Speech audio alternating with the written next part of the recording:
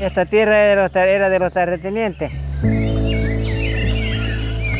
Ahora es de nosotros los campesinos.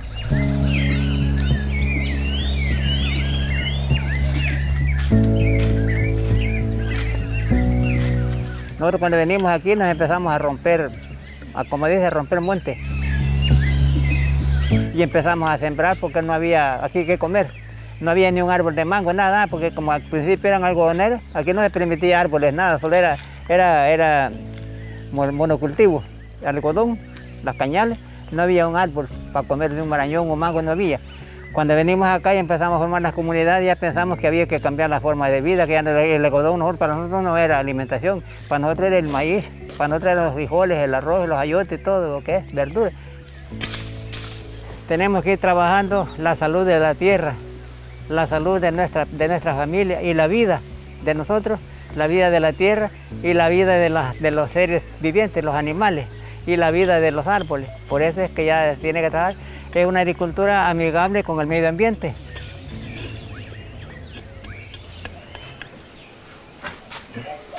Yo soy de Cacaupera de Morazán.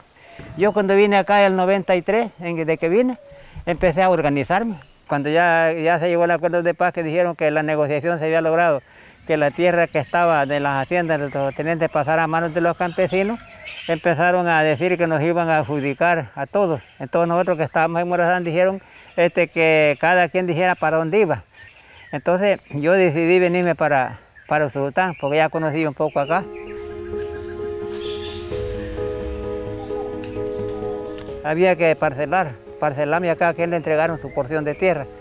Yo vine en el 93 aquí, el 95 me organizo en la coordinadora, el 99 nace la Asociación Mangle y empezamos a conseguir proyectos y empezaron a traer estas cosas.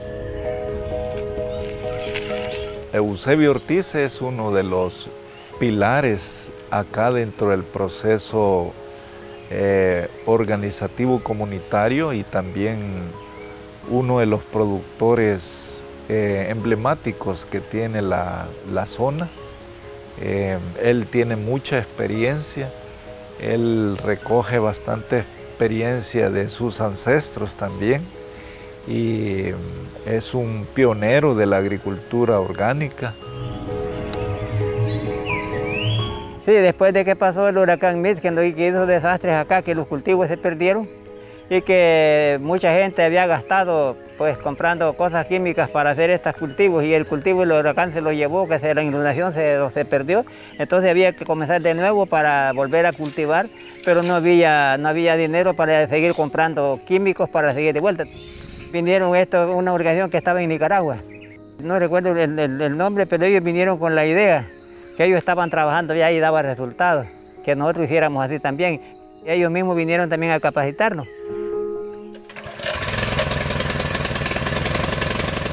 Nosotros tuvimos que ir a traer, como teníamos familia en Morazán, las familias de Morazán, algunos que no se fueron a la guerra, reservaron semillas. Y ellos, ellos lo fueron produciendo, dijimos, yo tengo tal semilla, ah, pues producir, cuando tengas me, me vendejo, me da. Ya, ya sembraban y decía, este lo vamos a dar. Toda, toda esta semilla que tenemos la traímos de Morazán, otros traían de Chalatenango, otros venían de La Unión y así. Voy a apagar.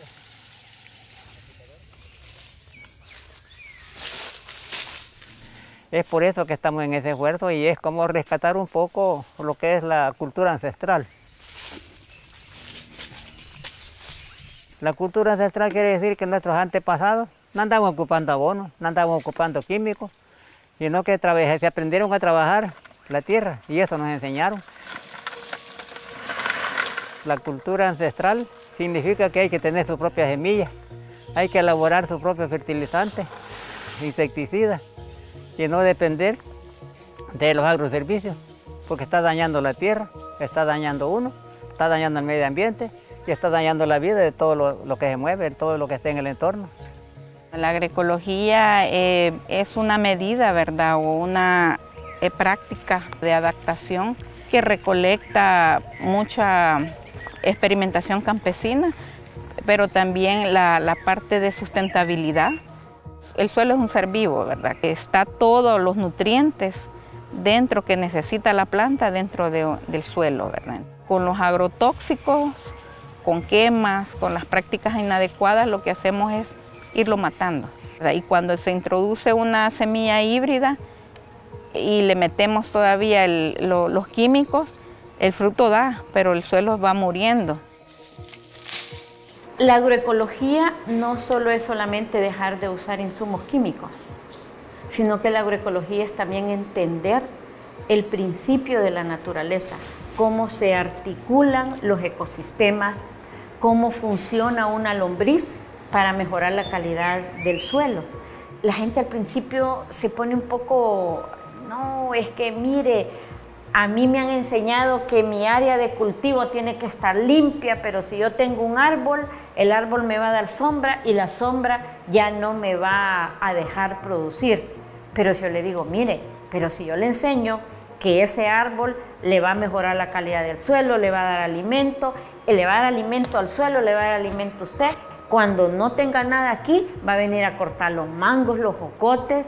E, entonces, que cuando tú, tú vas dándole a las personas esas oportunidades, ellas lo entienden. El guayabo taiwanés, porque como este tiempo estamos ahora de que, que el cambio climático, que la sequía, que las inundaciones, entonces a veces uno tiene que ir buscando cómo, cómo, cómo variarle esa cuestión para que no fracasar, pues si fracasa pero no fuera tanto. Por ejemplo, yo estado sembrando trabajo escalonado, si pierdo una, no pierdo la otra porque si hago de un solo pierdo todo. Estas están tiernitas, van a ingresar. Y el invierno como puede venir bien, puede venir mal. No se sabe, porque como está todo variable, no decimos vulgarmente el invierno, el tiempo está loco. Con eso que ahora llueve, mañana no llueve.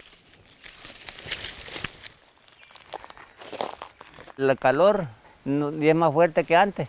El calentamiento está más fuerte que hace aquellos años antes, cuando yo me crié. Nosotros trabajábamos todo el día y todos los días. Y ahora no. Yo trabajara desde la mañana hasta, hasta, hasta las 4, otro día no me levanto. No se aguanta, se mata, no se resiste. Incluso los inviernos eran más agua, ahora poco. Y ya están anunciando, ya dijo el ministro de, de Agricultura que a mediados de este año el clima va a subir más. Que las plantas supuestamente se puedan morir, hay que ir pensando desde ya. Estaban chiquitos cuando Cayó la tormenta Julia y muchos se murieron. Solo me quedaron unos poquitos. Pero estos que han quedado de aquí voy a sacar semillas para volver a, sembrar. La agroecología es la mejor opción que tenemos para volvernos resilientes a nuestra realidad, que es cambio climático. Yo creo que no ha habido agricultor en este país que no haya enfrentado ya un, una situación de pérdida de cultivo o disminución de cultivo o, deterioro de la calidad de su, de su grano por el tema de cambio climático. Ante todo eso viene un, evento ¿verdad? De, desastre. Este, si tenemos un, monocultivo se acaba todo y no me quedo sin alimentos. El productor o la productora se queda sin alimentos. Pero puede ser que cuando hay una diversidad, ¿verdad? Un desastre puede acabar un cultivo, pero me quedan otros. ¿Verdad? Entonces ahí es donde existe ya la soberanía alimentaria. Hay que seguir poniendo en práctica lo que hemos aprendido. Eh, vamos conociendo también las experiencias de otros compañeros de otros lugares. Por ejemplo, nosotros en esto que hacemos gira es un intercambio. Vamos a ver qué están haciendo ellos, cómo lo están haciendo y después ellos vienen acá. es un intercambio de experiencia, incluso un intercambio de semillas. Ellos tienen una semilla que nosotros no la tenemos, nosotros llevamos de la que tenemos. Les damos a ellos y ellos nos dan. Acá como Asociación Mangle siempre hemos tratado de inculcar la parte de la solidaridad entre personas en las comunidades y lógicamente en los procesos productivos que hoy nos enmarcamos específicamente en la, en la práctica de la agroecología. Se han generado diferentes espacios de compartir semilla y uno de esos espacios ha sido el que ellos mismos como grupo de productores han logrado ir impulsando y promoviendo y practicando en la zona.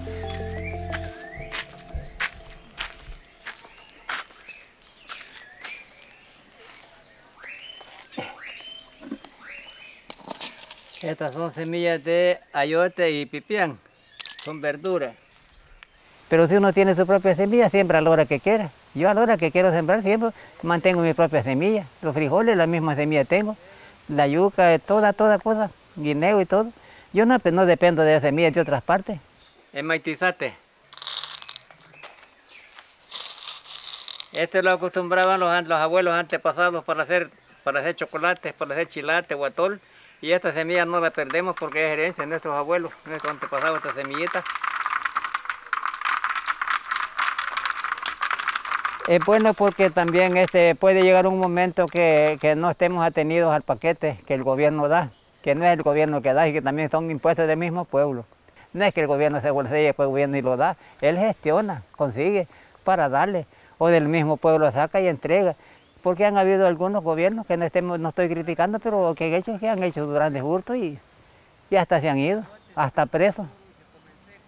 ¿Por qué? Porque no supieron pensar para el pueblo, sino que le, le engañaron. A otra cosa es que a veces lo propagandizan para las campañas.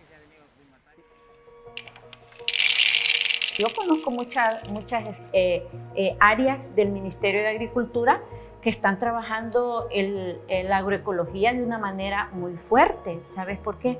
Porque realmente es la forma en que mejor nos podemos adaptar al cambio climático. Pero a la par hay una política que lleva muchos gobiernos en práctica, que es esta semilla híbrida, que, que, que, termina siendo una rueda de caballito que algunos productores terminan dependiendo de ella. No hay aquí una, una, una contradicción en, en, esas políticas. Mira, es que fíjate que yo creo que aquí, aquí tenemos que, que entender un concepto de, de necesidades y oportunidades, ¿verdad? Eh, sí, al agricultor, esa semilla que le dan le ayuda, eh, cultiva, porque muchas veces eh, la temporada pasada fue mala y, no logró, pero por lo menos yo te puedo hablar del caso de nosotros en Usulután, donde hubieron agricultores que un grano de maíz no lo pudieron sacar. Entonces, en ese sentido, si tú tienes una opción para suplir tu necesidad, eh, eh, la utilizas. ¿Por qué los gobiernos, el actual, los pasados, los gobiernos centrales, los locales? Hay intereses políticos de un sistema capitalista que tenemos. Tiene que ver mucho eso. O sea, hay un monopolio, por decir así, ¿verdad? Por ejemplo, las semillas es un monopolio una, eh, que se tiene, ¿verdad? Que una transnacional, ¿verdad? Que, y que aquí hay intereses, ¿verdad? De un poder económico, ¿verdad? Donde se tiene el acaparamiento de eso. Hay que sembrar un poquito de cada cosa, no el monocultivo. Es lo que había antes, que solo tirábamos a la milpa y el frijol. Pero no pensábamos sembrar un mango, un aguacate, un naranjo, un coco un marañón. Ahora aquí se come un marañón, se come un mango, se come un guineo, se come una yuca. Si quiere comer ejote, ahí está. Si quiere buscar tomate o chile, lo que sea.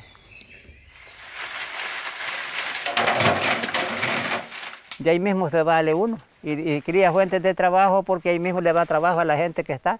Se vale él con sus moneditas y se vale uno con el trabajito. La gente le ayuda a uno y uno les ayuda a ellos. Nos ayudamos unos con otros. Si deforestamos, no va a haber agua. Sin agua no hay vida. Sin aire, no hay vida. Sin oxígeno. Sin oxígeno no podemos vivir. Sin agua no podemos vivir.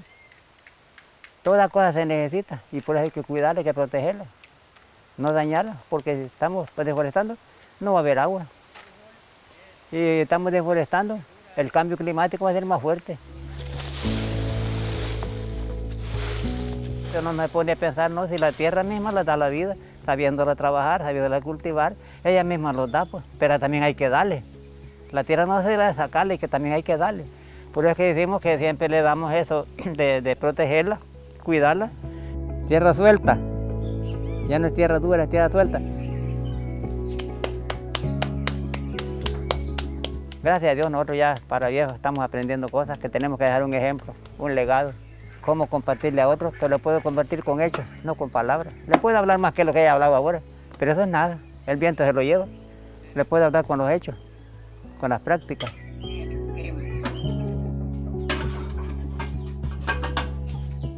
Aprendemos y tenemos que compartir porque no nos vamos a quedar este, egoístas o tacaños como decimos. Yo ya aprendí para yo, ¿no? De ahí hay que compartir a otro.